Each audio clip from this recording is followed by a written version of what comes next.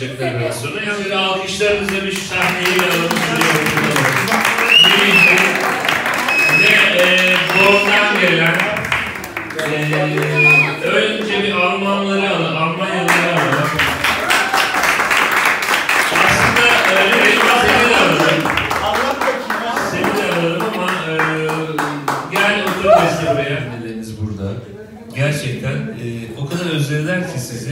Açıkçası biz de özler gibi yaptık yani.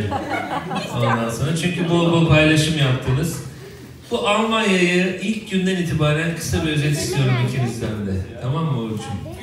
Benim güzel bir anımla başladı. Ya çünkü ben Almanya'ya giderken ne kadar daha önce birkaç kere gitsem de yani klişe bir laf vardır. Almanlar soğuktur.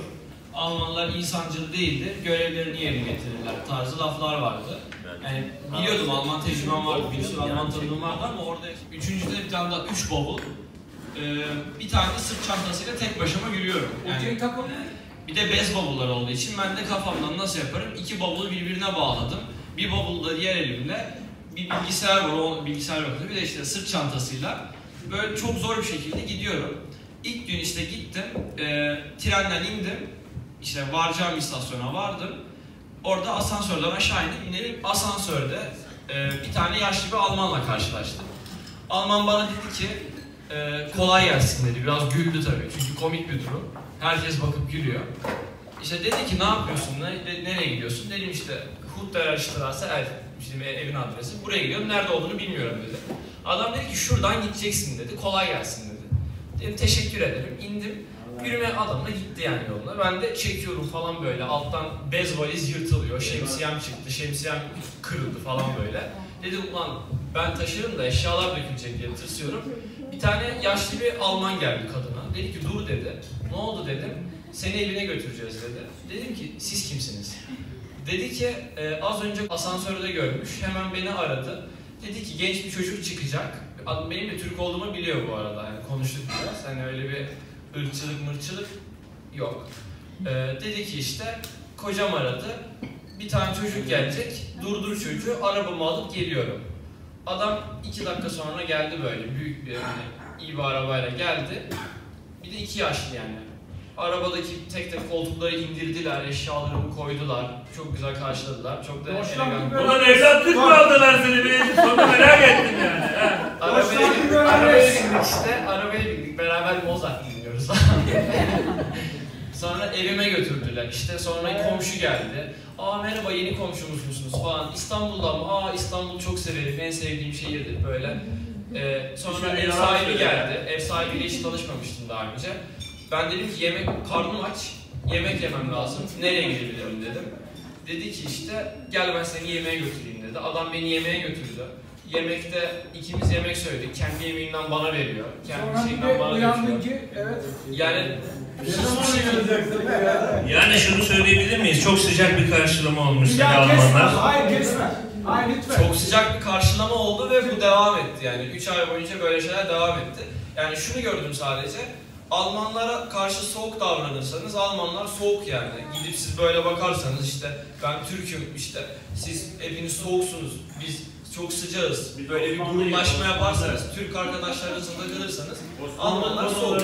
Ama ben ilk gittiğim günden beri şu yani şunu düşünüyordum. En büyük korkum benim Almanya'da Türk bir grup içerisinde hapis olmak. Türkçe konuşarak Almanlardan izole bir şekilde yaşamaktan çok korkuyordum. O yüzden ilk, gün, ilk gittiğim günden itibaren mümkün olduğunca Alman arkadaş, İspanyol arkadaş, Fransız arkadaş, dünyanın her yerinden arkadaşlar edindim. Ve hani e, onlara Türk olarak değil de gerçekten samimi bir şekilde yaklaştığım zaman onlardan da en az böyle bir karşılığı gördüm. Yani şunu fark ettim ve bir en önemlisi şunu şöyle bitireceğim. Söylemek istemiyorum ama hani dünya hakkında biraz hani azıcık okuyup dünya hakkında biraz fikri olduktan sonra bir insanın yani belli bir seviyeye geldikten sonra belli bir bakış açısını elde ettikten sonra yani ben biliyorum ki ben yarın Çin'e gitsem de aynı hayatı Çin'de de mutlu bir şekilde yaşarım. Almanya'da da yaşarım. Ne bileyim Fransa'da da yaşarım. Bu tamamen kişilikle alakalı bir şey. Yani e, bazı insanlar var. E, arkadaş ortamını, ne bileyim kişiliğini daha çok ortamdan, maddi şeylerden kazanan insanlar genellikle böyle yurt dışına ortam değiştirildiği zaman bir afallarlar ve boşluğa düşerler. O yüzden hani materyalle onunla bununla değil de kişiliğini gerçekten manevi bir şeylerle kazanan insanlar ben kendimi öyle görüyordum Burada her zaman. Şimdi tabii e, burada sevgili Beste'nin de çok büyük katkıları olduğunu düşünüyoruz yani. Arkadaş 15 kişi gitmiş sınıftan o dönemden 15 kişi hepsi orada. Kaan, Kaan yanında, o orada. Oğlum yani. Ha, ha, yani yani. Devam. Ama tabii sonuçta bunlar da bir strateji, bir proje yani ve bunu yapılan bir proje yani. Bu, bu da senin başarın, sizin başarınız yani değil mi? Tabii ki de her şey çok kolay gelişti bazı şanslar üstüne. Yani sadece yani insan Besinle ilgili bir şey söyleyecektim. Beste ile ilgili şöyle bir şey söyleyecektim. Beste benim kız arkadaşım ve biz bayağıdır beraberiz ve aynı bölümü okuduk ve aynı şehir aynı bölümü okuyoruz, aynı şehirde okuyoruz ama bu tamamen tesadüfi bir şey yani. Ortak karar vermedik. Yemin et. Devam et, devam et. Ee, yani şöyle bir şey yani üniversite okurken ben Almanya'da şunu fark ettim. Yani üniversitede böyle bir sürü arkadaşlarla takılabiliyorsun, okulda görüyorsun, şey yapıyorsun. Genelde takıldığın bir iki insan oluyor daha çok bütün gününü geçirdiğin. Benim de Beste oluyordu. Beste de sağ olsun matematik konusunda olsun, bazı şeyleri hızlandırma konusunda olsun. Çok çok çok zeki bir kız yani ben onu söyleyeyim. Yani. Bravo Beste'yle. Ve ben akademik olarak da akademik olarak da yani biz her zaman beraber çalışıyoruz. Ben onun evine gidiyorum. Evine gittik. Yani mesela şöyle bir anımız oldu mesela. Bir gün okula gittik. Sabah 8'de okula gittik. 8'den akşam 6'ya kadar aralıksız ders var. Aralıksız dersten sonra Beste bize geldi. Ee, dedim ki arada kütüphaneye gittik. Sonra bize gittik. Dedim ki Beste lütfen 10 dakika dinlenelim. Bak hak ettik bunu. Bugün sadece yemek yedik. Başka hiçbir şey yapmadık. Lütfen dinlenelim dedim. Beste dedi ki sen dinlen ben devam edeceğim. Bir dakika ya biz olan evliyiz. Sen diyeceksin ki ben öğrettim. Ben anlatayım. Vallahi öyle olmadı. Ya ve hani şöyle ben de Beste devam etti. Ben dedim ne yaparsan ya YouTube'u açtım böyle biraz takılıyorum. 5 dakika sonra kötü hissettim. Onun yanına gittim. Devam etmeye başladık ama yani o benden daha bazı konularda başarılı, sorumluluk bilgisi, bilinci bu kadar yüksek olmasaydı beni daha kötü etkilerdi. Ama tam tersine e, yanımda olduğu için akademik olarak olsun, ruhsal olarak olsun, yani manevi olarak olsun her şekilde bana inanılmaz destek oluyor. Yani o olmasa biliyorum ki 3 kat daha zor yapardım. Yanımda Kaan arkadaşım, en yakın arkadaşlarımdan biriyle aynı evde okuduğum, o- e, oturduğum için de yani bir sürü faktör var. Çok arkadaşım var etrafımda hani en azından bir arkadaş çevresi de edindim. O yüzden her şey kolay gelişiyor. Bir de özlediğim arkadaşlar, Rüştüler falan arada Münih'e geldiler, birkaç gün bizde kaldılar. Yani böyle e, hayal ettiğim üniversite hayatını yaşıyorum. Çok mutluyum. Yani okulda güzel gidiyor. Maşallah. Yani her şey çok güzel. Mutluyum. Hayatta genel olarak yani bir şeylere karar verme konusunda çok zorlanıyorum. Nerede okuyayım, ne okuyayım. Bölümün konusu bile hani son dakika karar verdiğim bir şeydi. Bu konuda hani Münih'e gittiğimde Münih'in güzel olduğunu kabullenmemiştim. Münih'in benim için yararlı olacağını, istediğim şehir olduğunu, istediğim bölüm olduğunu hiçbir şekilde hala karar vermemiştim. Sadece kendimi bir şekilde orada buldum. Yani bir şekilde hallederim diyordum. Hani sınavları hallederim, geçerim, kalmam herhalde diyordum. Fakat hiçbir zaman emin değildim. Hep böyle bir şüphe vardı. Ben bu değilim diyordum, bu bölümü okuyamam diyordum veya işte hayatta bunu yapmak istemiyorum veya işte okuyan insanları çok sevmedim falan. Genel olarak böyle hani her zaman varlığın dolu tarafını gören bir insan değilim belki de ya da çok kararsızım. Bu konuda ben de Uğur'a çok teşekkür etmek istiyorum. Çünkü her zaman bana diyordu ki ben seni tanıyorum ve sen bunu yapacaksın diyordu. O yüzden hani sırf onun anlattığı gibi değil, gerçekten onda çok yardım oldu. E, genel olarak ben böyle ümitsizliğe kolay kapılırım. İşte hani hayır bunu istemiyorum, ben İsviçre'ye tekrar gideceğim falan. İsviçre'ye tekrar araştırmaya başlamıştım. Bir şekilde açtım gerçekten yardımıyla. Benimle uzun bir konuşma yaptı, bir gün oturdu. Ondan sonra gerçekten çok mutlu olduğuma karar verdim. Gerçekten Münih'te çok mutluyum. Münih'i de çok seviyorum. Yani yürüdüğüm zaman sokaklarında gerçekten zevk alıyorum. Gökyüzünü görmekten, parkta dolaşmaktan, evimden. Her şeyi çok seviyorum şu an gerçekten ama zor oldu bu konuma gelebilmem. Şu an gerçekten çok mutluyum. Tabii hani Türk arkadaşlarım vardı bayağı. Yani biz 16 kişi elektroteknikte okuyoruz. Yani en az bir 35-40 kişi vardır e, Almanya'da bizim okuldan gelen.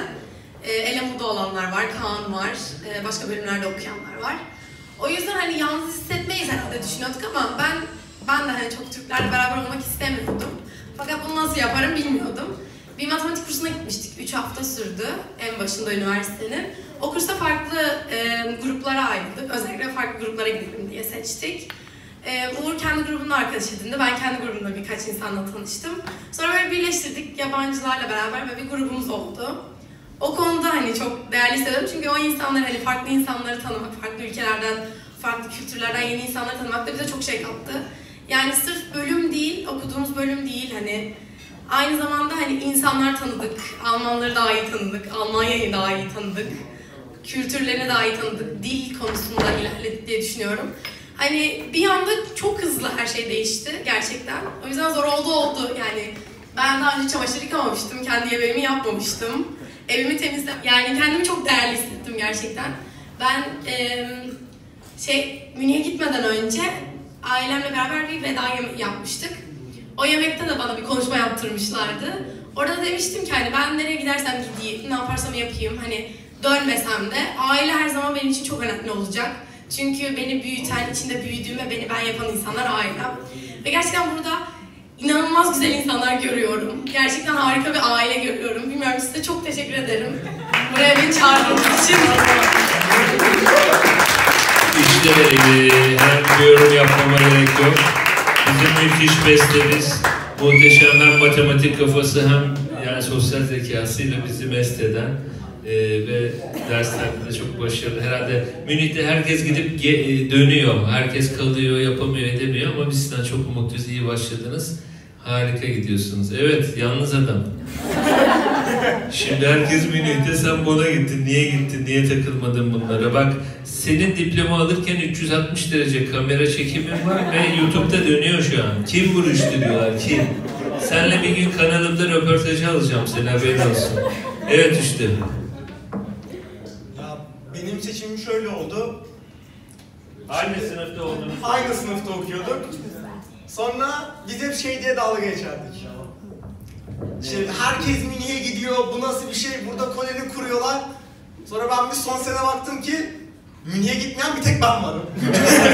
Yaşasın ıssız adam. ya ben Bonn'da matematik okumayı seçtim çünkü Bonn matematikte farklı çok çok iyi bir üniversiteydi. Ama birkaç şey de tatmak istedim asıl. Bir, yalnızlığı denemek istedim. Yani çünkü hayatında yalnız olabileceğin dönemler var ve bunu bir kere tatmak istedim. Aynı zamanda yani bir yabancı ülkede tamamen yabancı olarak yaşamayı tatmak istedim. Demers'lardan da ayrılmak istedim. Belki. Yok, Dimmers'tan çok ayrılmak istemedim de öyle gelişti. Yani yalan falan söylemeyin yani. Hani biz de buna gidiyoruz. Valla bir sıra Beste'yi kandırıyordum. Ondan matematik okumaya. Ama yapamadım sonra. Neyse ama şunu öğrendim. Yani şu üç aydan. Yalnızlığın da güzel tarafları var ama insan buna uygun yaratılmamış. Bravo. Yani buna uygun değiliz. Ama bilmiyorum yani ben istediğimi elde ettim çünkü yeni şeyler öğreniyorum. Bir Florine falan? Florine diyorlar. Ay Fräulein. ne yazık ki daha bulamadım. Ya, onun Sıkıntı orada. belki, belki de bu yüzden bu kadar mutluyum. yani benim için böyle geçti bu üç ay. Evet. Yani mutlusun şu an. Yani mutluyum ama bu daha çok yani seçtiğim şeyi yapmaktan dolayı mutluyum. Biraz sıkıntı var ama hissettim. Bir şey çok kısa bir şey söyleyeyim. Bize gelmişti Rüştü, bizi ziyarete gelmişti. Ben onu e, tren istasyonundan aldık, bizim eve götürdük. Arada bir 10 dakika yürüme mesafesi var, sohbet ettik. Dedi ki bana, abi ben Bonn'da bir hafta bu kadar konuşmadım kimseyle.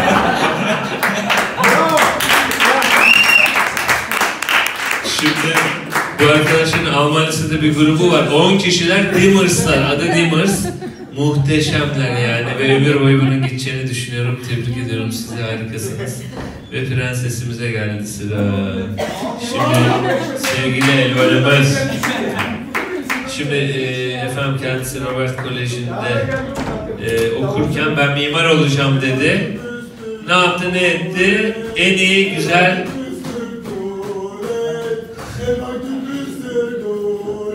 Müthiş bir bölüme gitti. Barcelona'ya yakın bir yerde. Evet Ervan'cığım nasıl gidiyor bir anlat bakalım. Hadi bakalım. Evet, ben Elvan. İspanya'da 50 bin nüfuslu Segovia diye bir şehirde mimarlık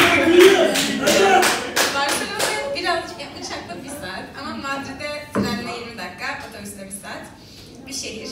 E, kendi okulumdan değil, kendi üniversitem İspanya'ya giden tek öğrenci benim. O yüzden giderken benim orada tanıdığım Türk veya Robert'te kimse yoktu. Ee, evde, aynı evde yaşadığım diğer bir Hintli, bir İspanyol ve bir Mısırlı'yı tanımıyordum. Bizi böyle bir housing agency aynı e, daireye koydu.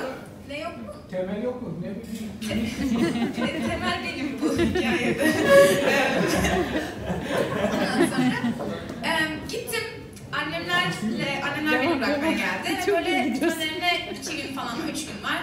Ben dedim ya ben de ne yapıyorum? Ve gerçekten köy gibi bir şehir yani 50 bin nüfus, Ataşehir'in nüfusu herhalde 500 bin falan gibi bir şey. Benim asla alışık olmadığım bir yer.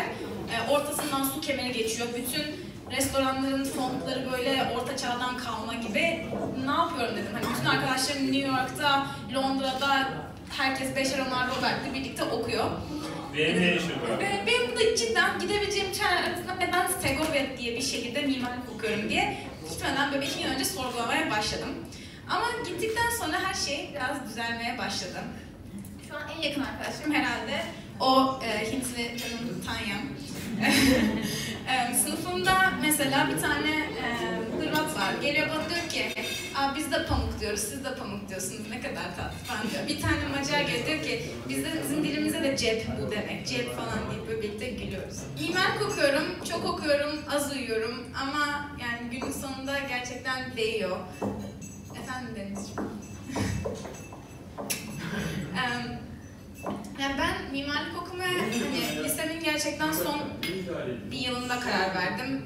Ama şu anda gerçekten başka hani şeyler okuyan arkadaşlarıma bakıyorum. Kendi üniversitemde diğer bölümlere bakıyorum ve başka hiçbir şey yapmak istemediğimi görüyorum. Yani yaptığım hani 18 saat aralıksız çalışıyorum aynı çizim, aynı proje üzerine. 18 Ama- saat. Yani minimum. Ama sonra yani jüri günü geldiğinde kendi yaptığım şey üzerine bahsederken gerçekten çok tatmin edici bir duygu oluyor. Yani bunu ben yaptım, ben çıkardım, ben ürettim bunu diyebilmek. O yüzden e, yani mimarlık okumaktan gerçekten inanılmaz mutluluk duyuyorum. Onun dışında e, benim okulum hani İspanya'da ve tamamen İngilizce bir okul ama İspanyol oranı yüzde 25. O yüzden kalan yüzde 75 dünyanın gerçekten bütün her yerinden. E, yani Katmandu'dan arkadaşım var. Alman arkadaşım da var. Ama yani Türk bütün 1500 kişi arasında 5-6 tane falan Türk var. O yüzden ben çok istesem de Türklere takılamıyorum. Yani bir şey olamıyor maalesef. Ama yani bu kötü bir şey değil çünkü hani gerçekten dünyanın bütün kıtalarında neredeyse bütün ülkelerinden bir tane arkadaşım var diyebileceğim herhalde 5 yıl, 5 uzun yılın sonunda. Ve yani hepimiz ortak bir dili konuşup ortak bir şeye gülebiliyor olmamız bana çok sihirli bir şey gibi geliyor ve belki de yani yurt dışında okumayı seçmenin en güzel yanında bu bir şey yani bu kadar farklı insanlar ortak bir şey paylaşabiliyor olmayı görmek bana çok gerçekten güzel bir şey olarak geliyor. O yüzden çok Torpil yapın. Peki Ervan en çok e, kimi özledin? Anneni mi babanı mı? Şükşükü mü Oktay'ı mı? şiş. Şükşük'e bir alkış alalım. Şimdi arkadaşlar e, programda Seninki mi? Ee, ya yurt mu ev mi nasıl teknik alıyorsun çamaşırları bulaşık falan. Patates haşlamayı öğrendim. patates haşlamayı öğrendim çünkü bir kere midemi bozdum. o zaman patates ve havuç haşlamayı öğrenme, pilav yapmayı öğrenmem gerekti. Onun dışında ben evde kalıyorum ama yan tarafımda hemen bir yurt var. E, dairenin sahibi olan aynı firma yapıyor. O yüzden ben hafta içi akşam evleri orada yiyebiliyorum çok şükür. Onun dışında hafta sonları çünkü bayağı zorlanıyorum. Sürekli sürede olduğum için eve gelip yemek yapmaya pek vaktim olmuyor. Onun için e, hazır makarnalar, pilavlar. Kilo aldın mı kilo? Evet, bayağı Hazır Bayağı makarna. aldım, aynen. Yani dışarıdan söylüyoruz bazen ama o da çok ekonomik olmuyor. Ee, yani seneye herhalde buna birazcık daha yatırım yapmam gerek. Bir kere brokoli haşladım, bir kere köfte yaptım, bir kere domates çorbası yaptım ama o kadar. Çok. Şimdi arkadaşlar şunu söyleyeyim. Bunlar bizim gururumuz. Türkiye'nin geleceğimizin yıldızları, gençleri çok büyük alkışlarla Sağ olsunlar, var olsunlar. Şimdi e, gurur duyuyoruz sizlerle. E, bu arada- için ama yani gerçekten çok zor oldu. Ama yani iyiydi ve yani mutluyum. İyi ki gitmişiz yani. E, ne zaman gittin? Kaç sene oldu? Aa, üç buçuk sene oldu. İki buçuk senedir buraya gelmedik. Yani, yani sürekli bir şey yapıyorum. Hiç yani boş zamanım yok ama iyi oluyor yani. Ya gittiğimden beri bir sürü hani işte yani dünyanın her yerinden ayrı insanlarla tanıştım. Bir sürü geziye gitmeye yani um, şansım oldu okulumla. Evet Ilgaz'cığım. E, gittin. Memnun musun? Ne yaptın? Kaç sene geçti? Ve bize Fransızca ve İngilizce birkaç bir şey. Gidince çok zordu çünkü İngilizce yani çok konuşamıyordum ve Fransızca hiç konuşamıyordum. Dördüncü sınıfta gittim. Ödevlerde falan bayağı zordu. Çok mutlu değildim ilk yıl. Ama ikinci yıl iyi, yani daha iyileşmeye başladı. Sonra okul değiştirince gene Fransızca'ya geçtim. Ve yani İngilizce okulda çok Fransızca öğretmiyorlar. O yüzden tüm, ar- tüm arkadaşlarım diğer okulda Fransızca'ya geçip hiç arkadaşsız geçip biraz zor oldu ama evet gene de. Peki Fransızca nasıl? Comment allez-vous? Je vais bien. Bir alkış alalım. Je m'enfie de le pantalon Çınar. İkinci yılda daha kolay olmaya başladı. Ama sonra yine değiştim. Ee, e, 6. sınıfta bir tane e, Fransızca öğrenen çocuklarla bir tane sınıfa koyuldum. Ee, ve o, o 6. sınıfın direktman çok bir şey yapmadım. Şimdi 7. sınıfta babam beni tek bırakmıyor. Çünkü e, her test için en az 10 saat beni çalıştırıyor. In 7th grade, I, I basically didn't have an indoor soccer team because there wasn't enough people. So I basically like didn't have any uh, after school activities. So I was basically bored.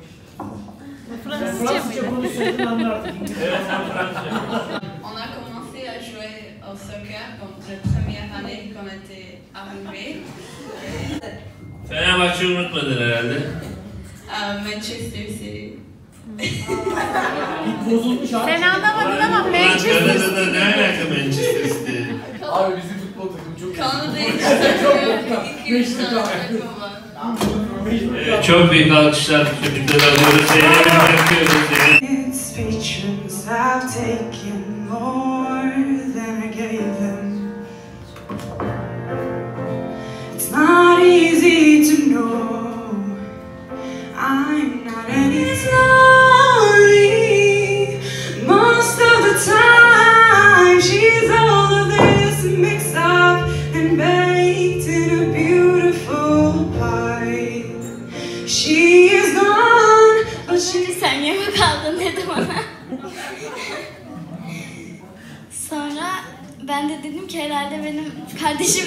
karıştırdınız beni dedim. Sonra gittim sordum seni.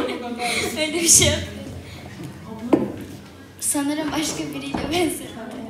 Başka biriyle Acaba- bir arkadaşıyla böyle. Evet. evet ver oraya. Evet. Demin sen konuş şeyi anladım. Bir şey anladım. Ee, şeyde Miami'de biz şeyle gelmiştik minibüsle. Bir, aynı minibüsten bir tane daha vardı. Ee, açtım kapıyı bir baktım ona arabayı mı çalmışlar dedim. İçinde başka kişiler var dedim. Kapadım kaçtım sonra e, bizim minibüse bindim.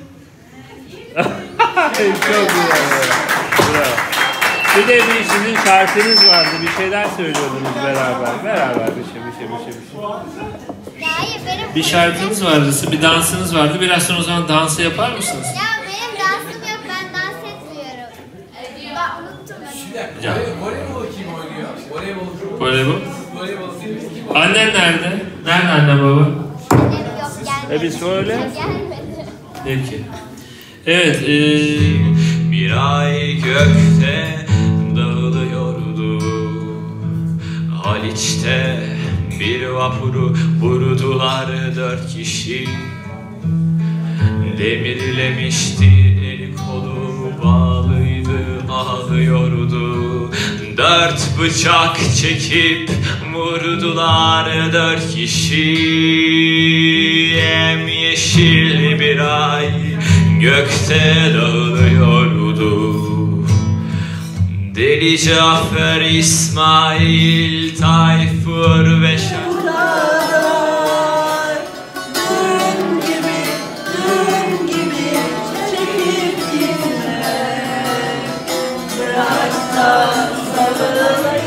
Oh bella ciao, bella ciao, bella ciao. Elleri bağlanmış Buldum yurdumun her yanı işgal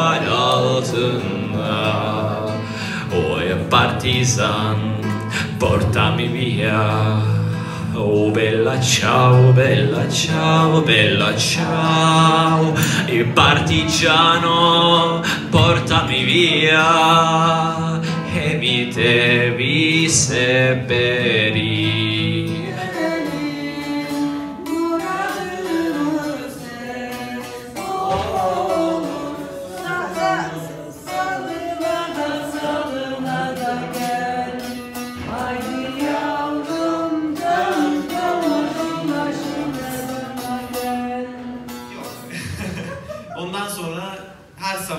giderken bir saat, dönerken bir buçuk saat. Yani yolda iki buçuk saatimi harcıyorum. Mutsuzum. İkinci dönem inşallah çıkacak. Arkadaşlara hoş Abi sen olan var mı? Comment allez-vous? Comment allez-vous? Je vais bien. Et toi? Uh, yes, I cancel a battle of the chair. Tamam, okey, tamam. Aynen oui. Anne?